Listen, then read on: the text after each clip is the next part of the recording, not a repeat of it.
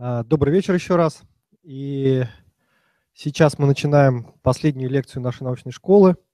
И э, я очень рад представить Виталия Львовича э, Дунина-Барковского, э, можно сказать,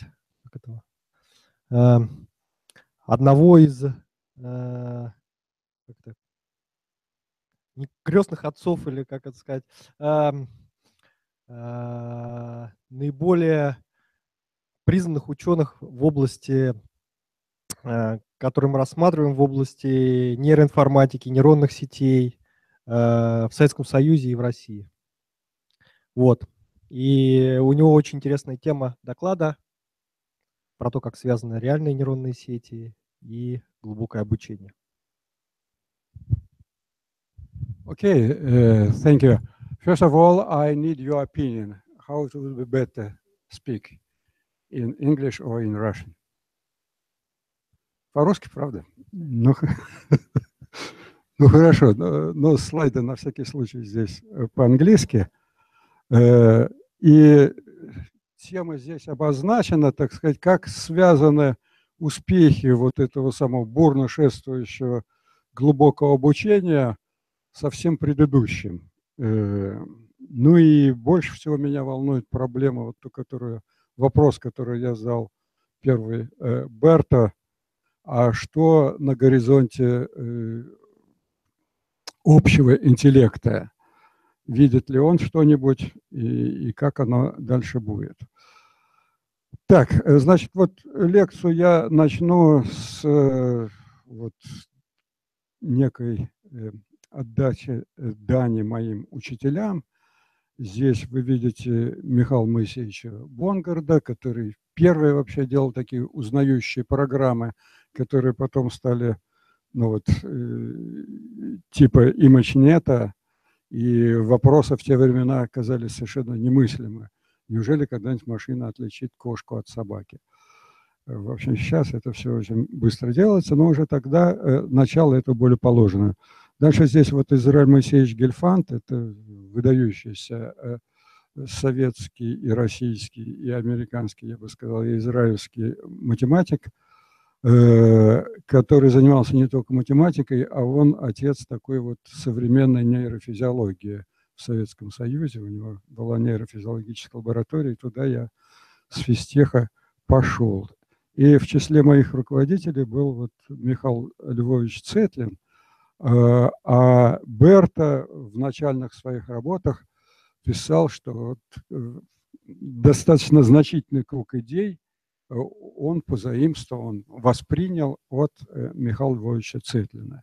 Еще на следующем слайде изображены два человека. Это вот в конце 15 года вышедший от нас Алексей Яковлевич Червоненкис и Владимир, здравствующий Владимир Наумович Вапник, они авторы так называемой размерности Вапника Чевроненкиса и э, Support Vector Machine, самая успешная распознающая система, которая была до, дип, до диплеминга. Ну и дальше, значит, вот план лекции. Э, ну, я то ли прочесть история будет, потом немножечко э, про то, чем мы занимались и как оно связано вот с современными э, успехами э, глубокого обучения, вот это Лели Краб и Павлов Принципал. И дальше некоторые современные работы, просто обзор современных работ. Здесь будет Поджо. Поджо, он, значит, вот опять-таки, связь времен. Э, позже э, был, э, ну, вместе работал с Дэвидом Маром. Дальше, значит, о том, как глубокое обучение помогает понимать переработку физиологической информации, Яменс. И вот интересные мысли Макса Тегмарка о том, как связаны общие проблемы физики и успехи э, глубокого обучения. дальше вот это самое немножко развитие так называемого случайного обратного распространения ошибок и заключение о том, что может быть общий интеллект не так далек от нас, как многим кажется. Э, соответственно, вот исторический комментарий, но основной тезис, который я пытаюсь здесь продвинуть, что, собственно, интеллект – вещь в очень существенной степени механическая и механистическая, и первым, кто это начал понимать, была э, леди Лавлейс, первый программист, э, дочь э, э, этого самого Байрона, которая для машины Бэббиджа писала программы и понимала, что, видимо, так из компьютера может появиться интеллект. Вопрос какой-то? Комментарий? Если комментарий, то я буду рад. Да. А следующий человек вот здесь, он немножко нетрадиционно нарисован, это Иван Петрович Павлов. Я считаю, что его роль действительно в современных успехах огромна. Он, а, ну, я дальше немножко больше про это скажу, но он, так сказать, вот своим механи... изучением механистического понятия, э, вот этого самого исследования экспериментальным условных рефлексов – решил, что, может быть, все остальное из этого следует. Но, кажется, он был прав. И следующий механицист – это, э, значит, э, Алан Тьюринг. Потому что мы знаем, что очень многое из того, что делается, оно основано на машине Тьюринга, а машина Тьюринга, так сказать, вот посмотреть, так там вообще непонятно, что она делает. Ничего не делает, а тем не менее стоит в основе всего того, что вычисляется и, видимо, и мыслится. Значит, это первая историческая, э, так сказать, линейка. Вторая, вот здесь, правда, у меня э, испаноязычная надпись про нейроны Маккалока и Пицца. Вот оба здесь, и Маккалок, и Пиц. В 1943 году они нарисовали очень примитивные такие квадратики, которые оказывается, чего-то все умеет делать, но на самом деле они могут реализовать любой конечный автомат и в каком-то смысле делать более-менее все, что... И, и, и из этой самой статьи более-менее выросла вычислительная техника. А, а далее оказалось, вот опять-таки Deep Learning показывал, что эти самые простые тривиальные нейроны, они, может, не столь тривиальны, они и дальше могут что-то помогать делать. Ну и следующий пионер очень важный и нужный, это Фрэнк Розенблат, который э, нарисовал первый э, персептрон, который умел вообще вот просто сам отличать горизонтальную линию от вертикальной. Э, э, исходно не умея это делать, но обучался. Более сложных задач, к сожалению, этот персептрон не решал, но и это было достаточно интересно э, в 1957 году. Дальше, вот, как вы знаете, успехи дипломинга, они в, основ... в, очень сильной степени основаны на обратном распространении ошибок. И на этой фотографии, здесь вы можете видеть и Михаила Сергеевича, и меня, но главное здесь вот эта центральная фигура Александр Иванович Галушкин, которого, вот, к сожалению, с октября месяца прошлого года нет, простите, с ноября уже нету. А, меня в свое время попросили представить его на пионерскую награду IEEE за изобретение backpropagation. Значит, в самом деле э, его статьи были пионерские в этой области. Но, правда, честно говоря, это э, само по себе метод, он как-то, наверное, из разных источников появлялся. Э, пионерскую награду дали другому, но, в общем, э, во всяком случае, есть очень серьезное мнение считать, что Александр Иванович был просто одним из первых. Ну а источником этого метода он мне рассказал, что послужили как раз идеи э, Розенблата. На следующем слайде можно видеть, вот я не знаю, многие из вас знают, что такое сети Хопфилда. Что, никто не знает? А, вот.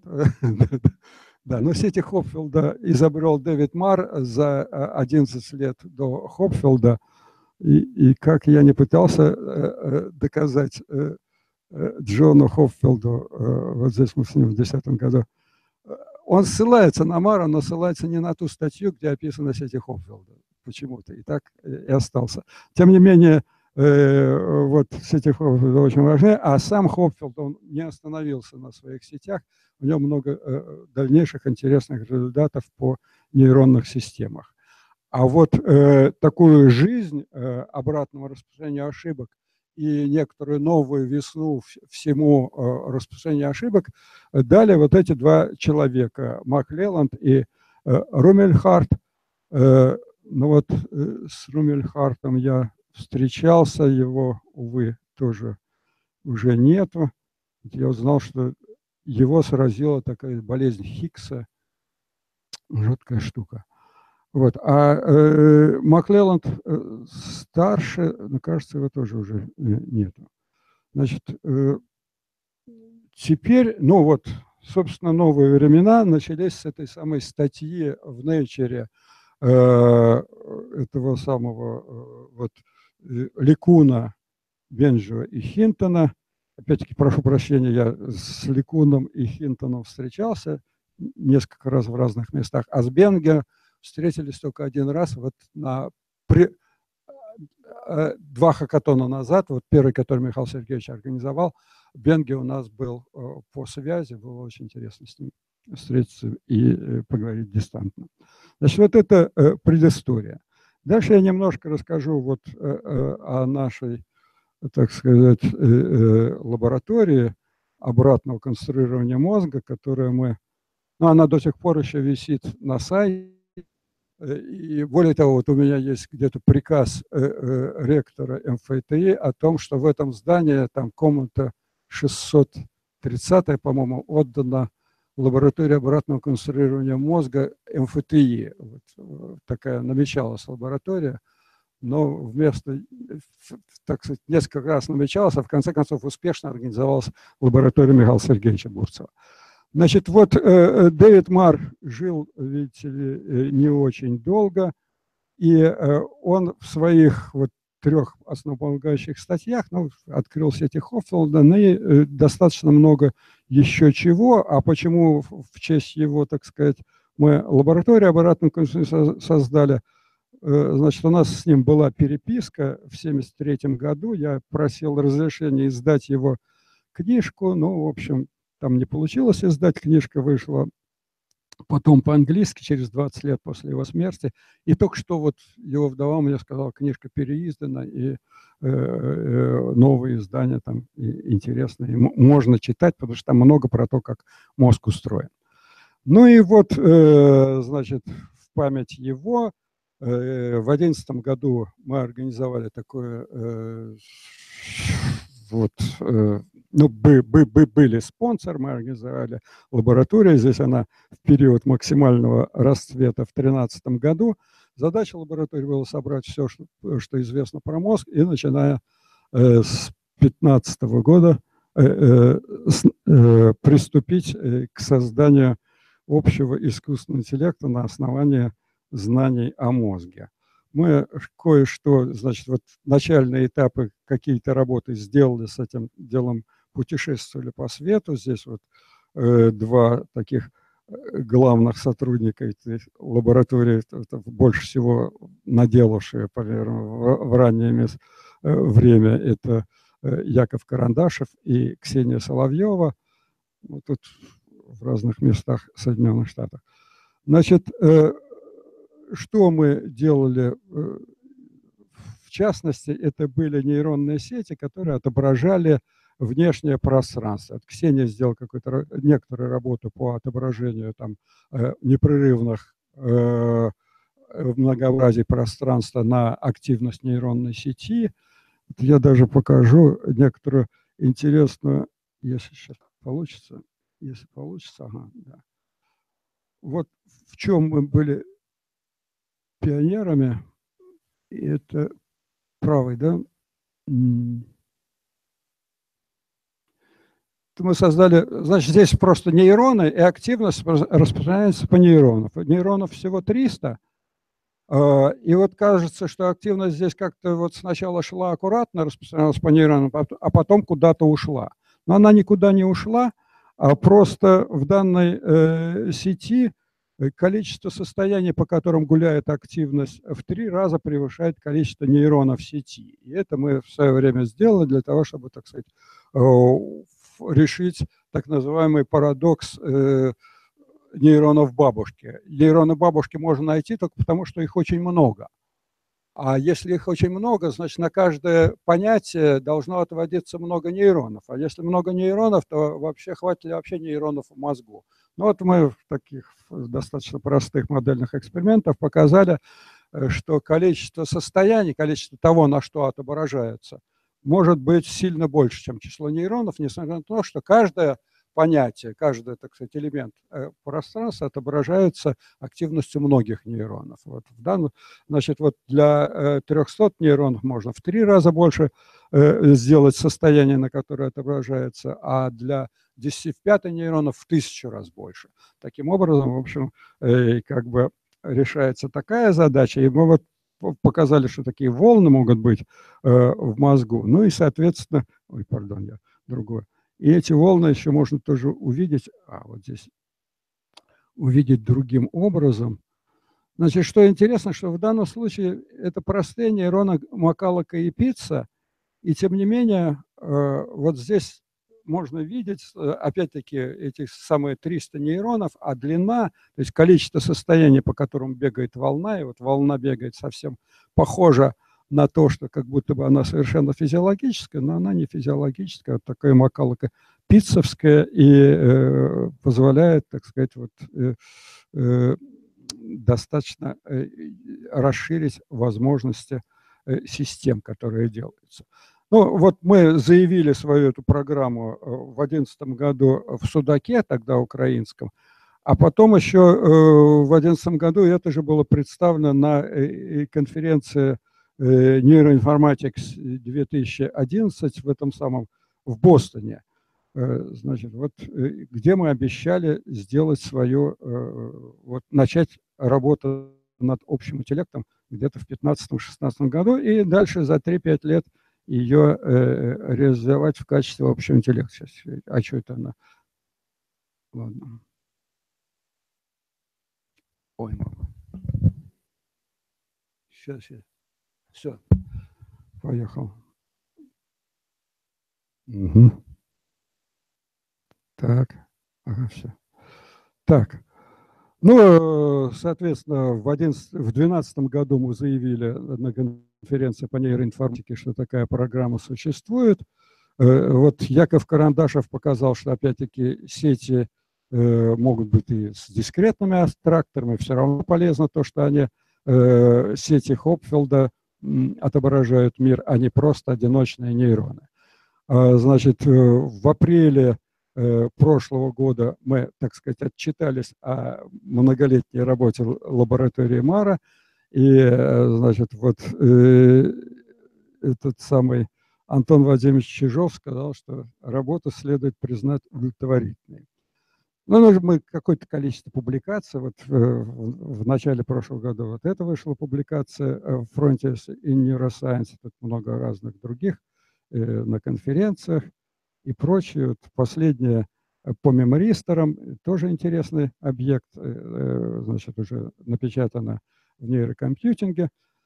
И со средством массовой информации на разные такие темы общались. Вот в 2013 году нас собрал Виталий Третьяков, чтобы разобраться, скоро ли появится интеллект или не скоро. Заключил он свое заседание здорово. Но, слава богу, я понимаю, что до интеллекта еще очень далеко. Вот. Э, но у Михаила Сергеевича опыта э, со средством массовой информации общения сильно больше. Теперь, значит, когда мы работали, вот, искали принципы э, работы нервной системы, в это время ребята еще тоже приносили все сведения о том, что делает искусственный интеллект. И, и уже в 2012 году стало ясно, что появилась эта самая э, ImageNet, которая совершенно потрясающе чего-то делала. Я говорю, ребята, это хорошо, что image нет, но она работает на таких примитивных нейронах и настолько не похожа на, что, на что-то нейронное. И кроме того, backpropagation абсолютно э, физиологически нереализуем, поэтому забудьте, ищите другие принципы организации нервной системы, которые делают э, вообще, вот, позволяют нам думать. Значит, искали мы, искали, а в конце концов это оказалось, что в 2014 году э, вот некто э, э, Лили Краб, вот и я статью здесь его показываю, она 2 ноября 2014 года э, была напечатана, показал, что, э, в общем-то, обратное распространение ошибок вот в том виде, в котором вы его сейчас очень сильно используете, оно не обязательно. Что есть методы, которые позволяют его обходить, вот так называемые random back propagation, вот он впервые его это, у, применил этот термин, надо сказать, что статья эта есть только в архивном варианте, никто ее до сих пор почему-то не, не принял к печати. Или авторы ее не подали в печать, или еще что-то. Но это вот к вопросу о том, насколько важно печататься э, э в престижных э, журналах. Но вообще-то сильно важно для карьеры, но для науки, видимо, не совсем так. И, значит, в этой работе, ну, backpropagation вы сами знаете, что такое – а вот то, что сделал, э, собственно, Лели Краб, он просто подавал сигнал об ошибке э, не через вот те связи, которые э, вызывают возбуждение выходных нейронов, а просто брал случайные связи, а, вот на выходе смотрел, какая ошибка, но он подавал не скалярный сигнал типа reinforcement learning, а точно, что вот во многих местах есть несовпадение. Ну, там кошка там обозначается тысячу битами, и собака тысячами. Вот кошки битые и кошки собаки. Вот несовпадение во многих битах, вот это все несовпадение через случайную сеть подается внутрь э, нейронной э, сети. И оказывается, что она и в этом случае учится, э, и вроде как неплохо учится. Э, и вот тут, э, собственно, э, и пришло такое понимание, что на самом деле э, вот э, то обучение, которое сейчас получается, которое эффективно, это в каком-то смысле, ну, э, не э, в точности подтверждения э, того, что нет, в, како, в каком-то смысле это подтверждение того, что предположил Павлов, что именно вот за счет изменения простых связей Э, в конце концов строится поведение, строится психическое поведение человека.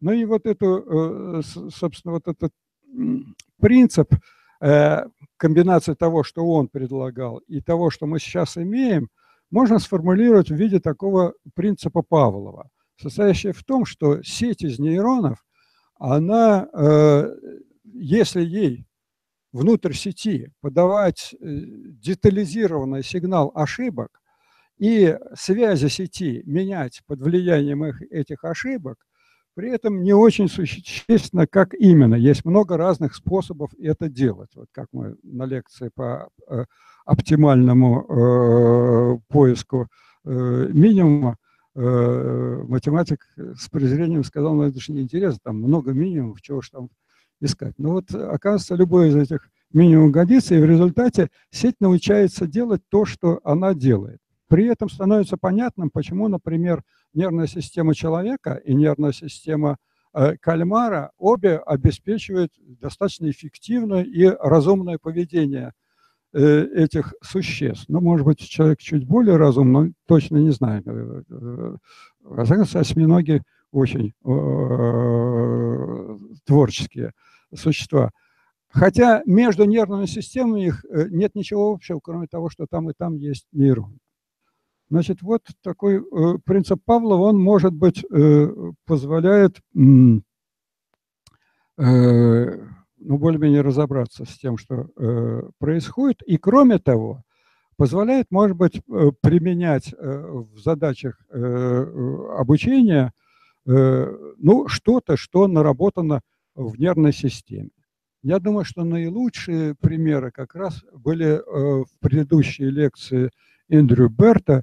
Видно, что человек очень глубоко, подробно э, и в деталях думал о том, как устроена вот мотивационная система думающей конструкции, ну, в частности, человека и животных. То есть это одно из тех мест, в которых полезно понимать, как мозг работает. Но здесь просто приведена статья, она пока еще в сборнике, статья, где мы пытались, значит, впрямую реализовать вот этот самый принцип Павлова для того, чтобы э, что-то а, реальное делать. Единственное, я два слова скажу про эту конкретную работу. Э, значит, э, чем она, она, ну так ничего особенно там интересного нет, результат пока слабенький. Единственное, что мы взяли в качестве задачи, с которой мы работаем, вот обычно в reinforcement, ну, во всех задачах обучения там много раз прокручивается Э, один и тот же материал обучения. А мы взяли задачу, в которой прокрутить материал э, невозможно. Мы сейчас э, флипчарт. Ага. Мы взяли задачу определения симметрично или несимметрично является вектор длины, бинарный вектор длины 100. Поскольку число сочетаний, так сказать, вот из 50 э, по 25, э, э, по 25 оно актуально бесконечно, то мы не можем весь материал показать, а просто вот путем такая модельная задача, которая может быть удобна для того, чтобы работать как бы с, с реальным миром, в котором число вариантов того, что делается, бесконечно. Тут у меня все убежало назад. Э, так.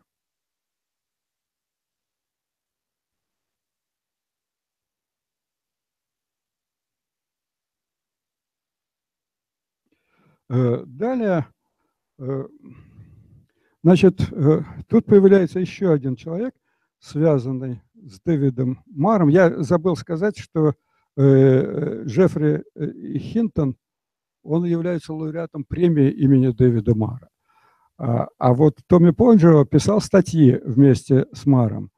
И э, вот замечательно его появилась статья в 2015 году, а, как раз э, первая статья, в которой цитируется неопубликованная работа Лили Крапа. Э, ну, опубликованная, не опубликованная в журнале или вообще в каких-то признанных средствах массовой информации. Опять-таки он смотрит, а насколько важно условие симметрии связи, он впервые обзывает это свойство симметрием связи. Ну, действительно, э, как говорится, сигнал прямой э, в нейронной сети проходит по каким-то связям, а обратно идет э, по сопряженным связям, так сказать, по транспонированной матрице. Ну и вот вроде бы действительно оказывается, что это не обязательно так – и Поджо такую э, э, теорию подтверждает. Далее, э, вот в связи с, с, с успехами этих самых э, имачнета, э, как-то появилась работа, в которой взяли и тупо сравнили многослойную нейронную сеть и э, то, каким образом преобразуется информация, э, в, э, зрительная информация в мозгу человека. Ну вот здесь э, два пути, один мозговой, другой искусственно-нейронной сети. И когда брали нейроны вот на соответствующих уровнях в искусственной сети и в естественной сети, Рецептивные поля нейронов были ужасно похожи. При этом специальные э, были предприняты усилия для того, чтобы э, понять, что дело здесь не только в том, и, и даже не столько в том, что на вход обеих этих конструкций подаются ну, более-менее одинаковые сигналы. Одинаковые в том смысле, что изображение, так сказать, из, из реального мира. А вот какие-то еще есть, э, вот вроде бы при том, что изображения должны быть, э, подавались такие, возможно, абсолютно другие способы создания, э, преобразования такой информации, а тем не менее в реальной жизни получилось так же, как и здесь. То есть вот это еще один аргумент к тому, что, видимо, э, э, э, других секретов в нервной системе, кроме вот, эффективности систем глубокого обучения, нету. Ну, вот это детально прослеживается на в этих самых корреляционных матрицах, сигналах высокого уровня, ну и рисуется схемы, в которых э, э, понятно, почему. На самом деле непонятно. До сих пор э, не очень понятно, почему же вот именно этот нейрон заставляет, нейроны слоистость делают эти конструкции похожи. Но так оно и есть. Ну и далее вот в августе, по-моему, прошлого года, ну, мы обнаружили это в сентябре, Э, э, появилась статья, которая связывает э, вопрос эффективности нейронных сетей, ну, искусственных нейронных сетей, вообще, в принципе, с физикой мира. Но, грубо говоря, значит, но вот этот комментарий на, на эту статью появился в MIT каком-то, да, вот Emerging Technology from Э, да, это в, в MIT-вестнике каком-то. А вот сама статья. Сама статья про то, почему, э, значит, дешево и эффективно э, эти самые, почему глубокие и дешевые нейронные сети так хорошо обучаются.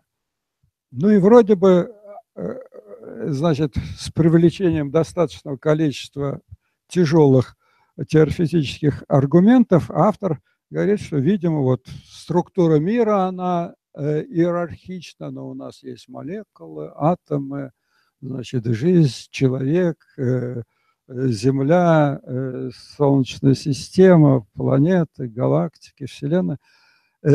И тут то же самое прослеживается, ну и какая-то еще более глубокая связь, связанная с тем, что описывается вот этими самыми нейронами, но суть еще может состоять в том, что ну, мы видим то, что мы видим, и видим тем, чем мы видим. А видим вот такими элементами, которые есть. При этом Э, э, значит, вот само искусство создания таких искусственных систем, ну, с одной стороны, мы можем, конечно, опираться на такую э, филигранную и очень высокоумную работу, которую нам представил на предпредыдущей лекции вот человек из математики, который вообще считает все, что не доказано аналитически, просто неинтересно, бессмысленно. А, а мы и природа, которая нас создавала, ей на самом деле плевать было, там доказана теорема отходимости или не доказана. Главное, получен или нет конечный результат.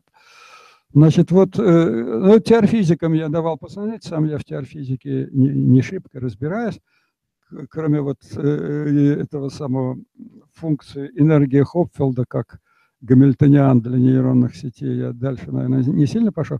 Ну, в общем, теоретики раскритиковали эту работу, потому что там было очень мало э, вот таких хороших уравнений, над которыми трудно ломать голову. Там просто соображения, а соображения как-то не очень любят э, э, в теорфизиках. Ну, теперь еще вот э, в, по неопубликованной работе э, Лили Крапа появилась только что достаточно подробная статья, э, доказывающая, что все-таки, понимаете, когда Лили Краб один появился, у него там и формула достаточно сложная, и, и результат непонятно, верить ему или не верить. Но вот по его следам пошла уже достаточно тяжелая артиллерия, которая, значит, говорит, что нет, действительно, вот эти самые случайные сети – они работают, не нужен детальный back propagation. И более того, даже в самой первой работе вот этого самого Лиликрапа по э, обратному распространению без, об, без э, распространения, так сказать, со случайными связями, они, конструкции получается, что они быстрее сходятся. Там вообще некая мистика, но вроде как получается, что тем самым у них реализуется квадратичная оптимизация, а не линейная. Я так детали я не проследил, как это делается. Но вот есть и такая, такое мнение. Ну и вот э, в статье позднейшей э, это мнение подробно развивается с формулами, которые очень красивые, в смысле сложны. Ну и я перехожу к заключительной части, которая, значит, про то, что, наверное, э, этот самый интеллект уже довольно быстро, но перед тем, как э, к этому перейти, я еще расскажу о, о пожалуй, даже о двух интересных работах Джона Хопфилда, которому, э, значит, который 33 года, и в день 80-летия он напечатал вот эту статью, статья про то, а как вот мышь думает, как ей найти место, куда, куда ей хочется пойти.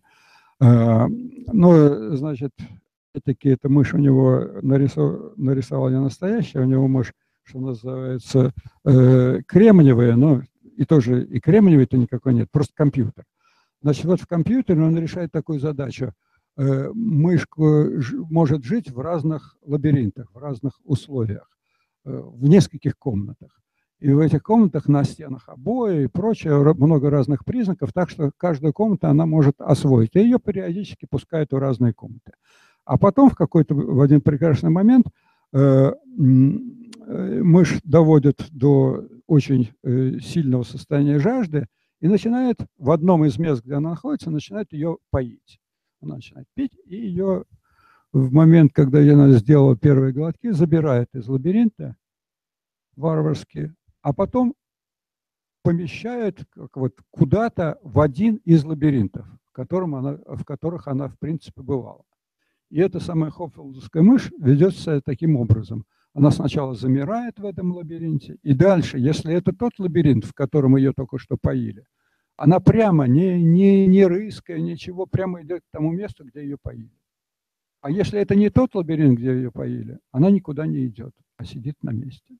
Вот такую конструкцию э, Хопфилд э, предложил. Она достаточно просто устроена, э, сама по себе основана вот, вот немножко на том, что я рассказывал про сети, которые представляют пространство.